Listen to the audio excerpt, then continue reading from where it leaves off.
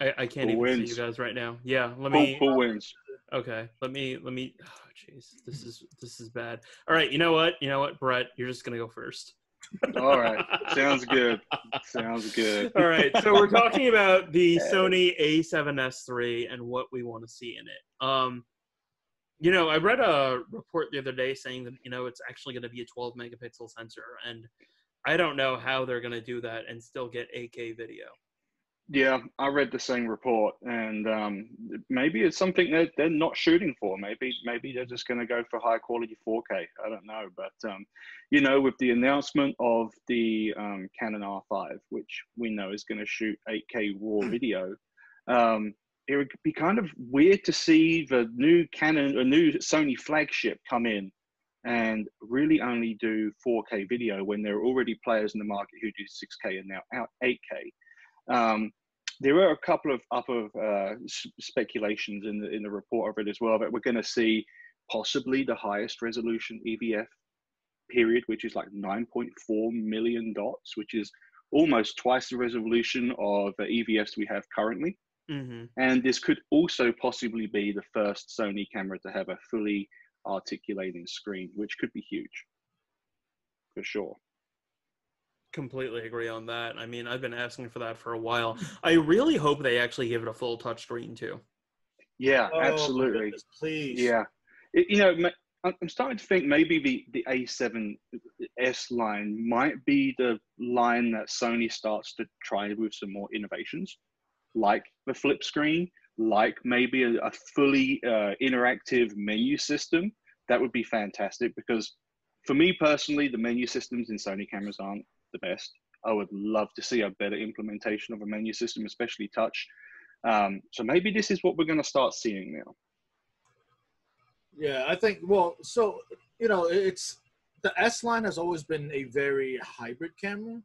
So I'm also wondering if we're going to see maybe kind of what we've seen with competitors, where you have a dedicated photo and a dedicated video mode, where you have independent settings. Right, you flip the switch, and your settings for stills don't affect your settings for video. So you know, you don't have to go and adjust everything you know, uh, when you want to just go from shooting photos to shooting video, all your settings are already there, so you're good to go. With that, you know, maybe we'll see instead of just shutter speeds when you switch to video mode, maybe they'll take a page out of Panasonic's book and put shutter angles in there.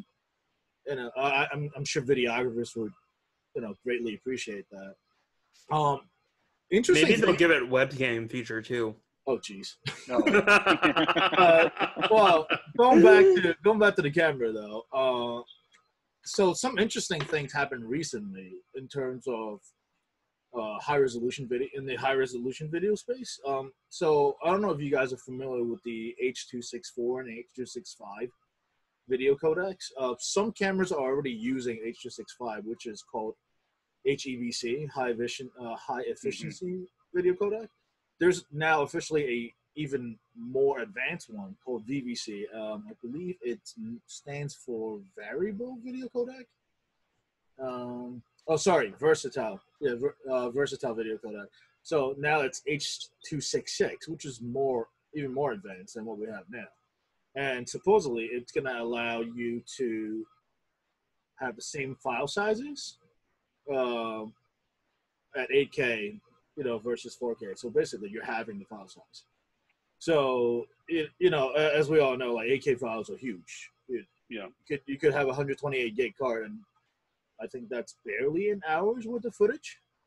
So now, at least on the recording media side, you can fit that same amount of content in 8K on 128 or 256 gig card.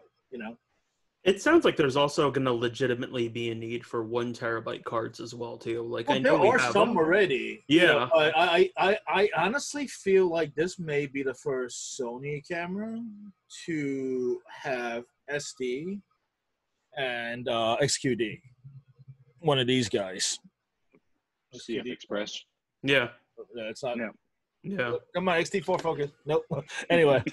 Uh, okay, the XT4 grabbed hold on, hold on, hold on. Here we go. There you All go. right. So this versus this. Right. which Yeah. is Right. uh, also it's got the same form factor as CF Express, but no, Yeah. since it's Sony, it's probably going to stick with XQD since Sony owns the XQD format, whereas CF Express is kind of more open, even though you still have to license it.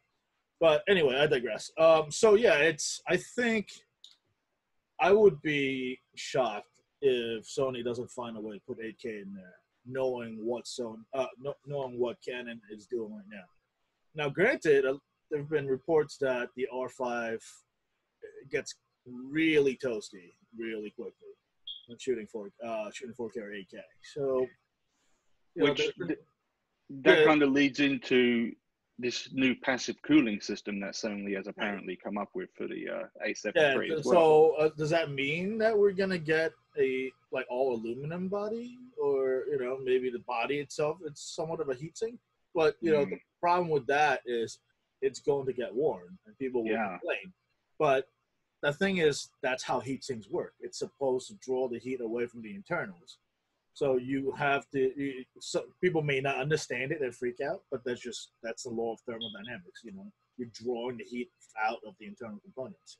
I'm sure Sony are probably designing this camera thinking that the, the majority of people who use this for video content creation are going to be using it in a cage or in a you know in a gimbal Right, or something. which So- gives you a little bit of separation from the actual device already. So, Or it might be sort of like uh, the Sigma FP and the Panasonic. I certainly S1. hope it's nothing like the Sigma fp No, no, no. Well, yes, I agree with you. Yes. Um, Oh boy, I just I just packed that thing up today. But anyway, yeah. So there are like these vents, sort of, um, and they keep the LCD screen a little bit further away so that it's easier for the heat to come out. Um, maybe they could do a design change like that. But I only see that being something on like the A7S series, not like all the rest, of course. yeah, it's it's gonna be interesting. Um, I also feel like we're probably going to see the S inherit some of the the uh, cinema like mojo that we've seen Sony put into their other consumer electronic devices. You know, like the CineAlta stuff that they've put into their Xperia phones. Uh, with the Ace, like the A7S line being so popular with the video side of things, it, it just makes sense for them to kind of bundle that stuff into it. I also think that they'll probably do something similar to what Panasonic is doing with the uh, I think it's the GF100, um, where the microphones sort of like track where something is coming, and it gives higher emphasis on the sound there versus anything else. Um, I don't know. I, I think they might do that. Yeah, that'd be interesting. Uh, yeah, and I mean, also just bringing things back towards the photo side. Uh, you know, It shoots the- photos. the- well, the, A, the A7S two was a phenomenal camera in low light. Um, so it really opens up some creative possibilities.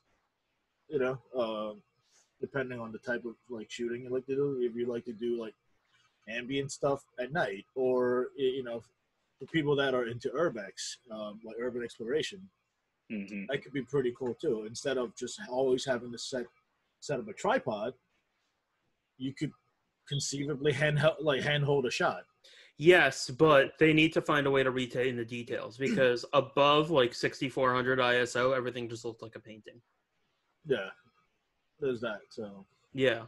I remember sitting there and them like for the original A7S being like, "Oh yeah, you can go all the way up to these higher ISOs and you'll still get usable images." And I'm like, "Yeah, but like there's no detail. Like what's going on?" And then when I did the S2, it was the same thing and I was like, "Wait, what's going on here?" But um what I also found was really weird was with the A7S2, you couldn't really get a whole lot of details from the highlights. Um, so maybe they'll do something. Uh, first off, I hope they give a higher reg- megapixel sensor. Like Yeah. I think that it needs like at least 24. how Um, long has how long has it been since the A7S2 came out? Was it 2017? I believe. yeah, I think so. So we've had, I mean, we've had Four what two or three new iterations of image processors since then. Yeah, I, that I'm that also, would surely help. Uh, I have a feeling we might see see it get the global shutter that we've seen Sony release within the past couple of years. You know, uh, I That would definitely be a that would definitely be a killer feature that would make it stand Yeah. out from from say Yeah, Panasonic S1H right. or the R5. you know, you also don't have to worry about rolling shutters. So Yeah. that's huge. You know, that's huge for both stills and and motion. You know, so yeah, it's. I- I think we're, I think you know, just given how uncharacteristically long the product cycle has been, with the, uh, the S line, they have to come out guns blazing, uh, especially now that we've seen what you know the boys over at Canon or priming for. Yeah, there's definitely going to have to be some sort of wow factor with it, and I think there probably will be because, you know, honestly, it's going to be so disappointing if it's just another incremental update with a new body and a flashy EVF. I don't think they're going to do Uh, that. I, I, I I mean- doubt, I doubt it. It's going to be pretty revolutionary. I think. Yeah, Yeah, I mean, like Nikon, for example, the Z6, like shooting cinema raw, and then Panasonic doing it, and you know everything that the Canon R5 has. Um, Sony's probably just like biding their time, you know? yeah, I could definitely see that for sure. Yeah, Yeah, I, I, I wouldn't put too much stock though in it looking drastically different from the rest of the A7 line. Supposedly, it looks identical to the A7R4. Yeah, that's exactly what I was gonna hint at. It's it's gonna look like uh, the R4 or the A92. You know, Mm-hmm. same grip and same everything. Um, It'd be a particular- generationally, technically, even though we are in like the fourth gen for this A7 series, I don't think they're gonna like skip the three and say, "Oh, here's the A7S4." Um, I doubt it, uh, but you never know. Uh, but yeah, it's it's. I think the body itself, at least in shape, it's gonna look identical. But maybe they're doing something different to handle the cooling. And, As I say, perhaps have to be a bit thicker with the passive heatsink and all that. Yeah, and you know, I really hope we got like a fully articulating, uh, fully touch capable screen. Yeah. apparently, like a while ago, they were going to announce it. I think it was like at the last Photokina or something, and then they had a problem with the heatsink, so they were like, "No, we're not going to do it yet." Yeah, that was a rumor, and then also the pandemic happened, so everything got pushed back. Yeah, I guess. Yeah. But I mean, I, I sort of feel like the pandemic would have been like the perfect time to actually announce it because of the fact that, well, first off, we're still in the pandemic. Let's make it very clear. Mhm. Um, at least America is. Uh, don't get me started on that. But, um, you know, a lot of people are still at home and they're recording stuff at home. Um, they announced the ZV1.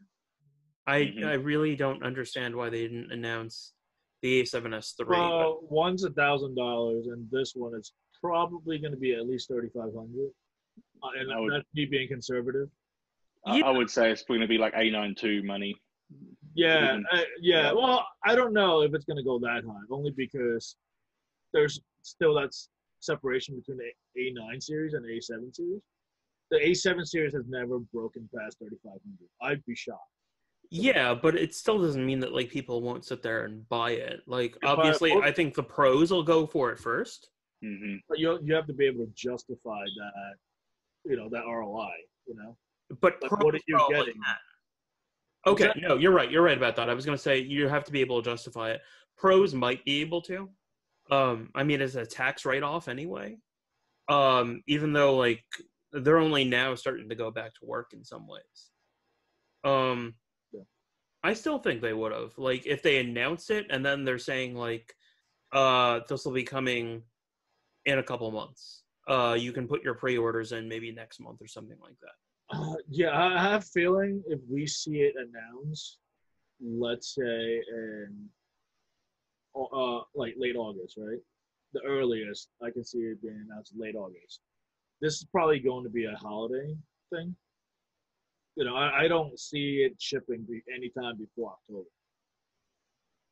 So I don't know. I, I, I kind of think they might. They might just to try and nip the Canon R5 in the bud. They might try and get it out to market.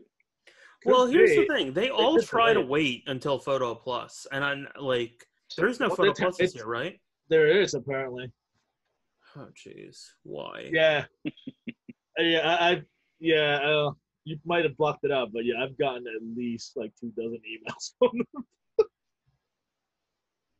Wait, we're getting emails about Photo Plus? Yeah. Oh, thank God my spam filter is so strong. It's sometimes a little too strong, but yeah. yeah, I know, I know, but like a live show, like at Javits? As far as I know, isn't it still like set up as a hospital? That's what I thought. Yeah. Who knows? I mean, I haven't been to Manhattan, and when's the last time we went to Manhattan? Like three months ago, two months ago? I've been, so I don't know. I don't know about you. Oh, okay. No, I haven't been in a while. Um, but yeah, no, like I, I, I don't know if I want to go to that show. Also, Sony might not might do their own thing again. You know. I think going forward, they definitely are seeing how popular their own event was, and you know the fact that you're able to completely control your messaging and engage with the audience. The people that were there predominantly were either already in the Sony ecosystem or they were interested in switching. Yeah. So you know you're not competing with other people. So Mhm. yeah, it's it was uh, it was definitely an experiment. I think for them it was a success. Plus, uh, Kando got moved, and it's online only now, right? Yeah, It's that. not like a real condo, but yeah. So it's a fake condo. Well, you you lose kind of the camaraderie and the like actual creating thing. It's more like an online seminar, I think, from what I understand. Yeah, no, that's true. Still good. I mean, it's still allowing creatives to connect. So I mean, I'm okay losing all the drunk people on Garf carts, like driving crazy. I'm all right with that. or, or on, on all those uh all those uh bikes. Oh, geez, those are the worst. And then guys like falling into the pool because they had too much to drink. I'm all right with that. Uh, yeah, that guy. Yeah, I'm all right losing that. Um, yeah, yeah, that, was- that was that was an interesting evening. yeah. Anyway, though, wrapping up thoughts. Um, one feature. If you guys had to pick one feature that you really, really want for photographers, what would it be? Paul, what would it be? For photographers, Yeah.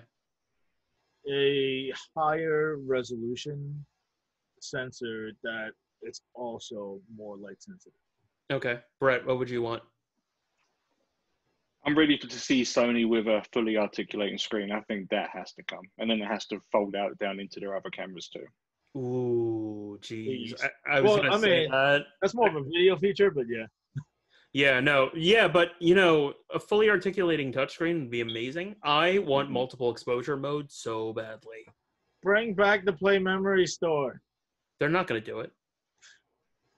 Or better yet, how about you give your consu- your consumers and your customers all those things for free built into the camera? Or that. Just make it accessible within the menu system. Yeah, but Yeah. like they can they can jack the price up like five or seven hundred dollars more, and like people would still buy it. Uh, I don't know. Some some people may not, because not everyone uses those features. I mean, I would- okay, I, I, it, this is something I can see coming down the line. This is another discussion, but I can definitely see there being some sort of subscription service coming to cameras here pretty soon Oh too. god, oh jeez. They're they're already trying to talk about that with cars. Yes, cars. Yeah. Yeah. I can totally see, and I can totally see Sony doing it too. Oh jeez. Yeah, let let's not let's not. That's a whole nother. I mean, I could I could totally see Fujifilm doing it with film simulations. a subscription. Yeah, Oh, just make it like make it a DLC. Like I'll pay for it. I'm not gonna subscribe to use a freaking film sim. Get out of here. you would if it were Natura. See, I will see, buy- see, I will- see? listen. look what I did. Look what I did. Listen, Look I what I will did. buy the film sim. I'm not going to pay a subscription for it. It's ridiculous. Like charge. I mean, 10 so many people did it when they went to Adobe. Like, charge me 10 15 bucks whatever but like i what if like i want to be able to pick up a camera in like 10 years and the film sim still works like, oh, sorry, the server is offline. You can't use. Like, how are they even going to authenticate? Like, is uh, are they gonna put a 5G radio into into my camera? I mean, if they're gonna do that, they they damn sure better have GPS capability, so I don't have to sync it to my phone first to ta- GPS tag my photos. Yeah, that's a solid point. You know. All right, let's wrap up this segment. Uh, let's move on to the next one.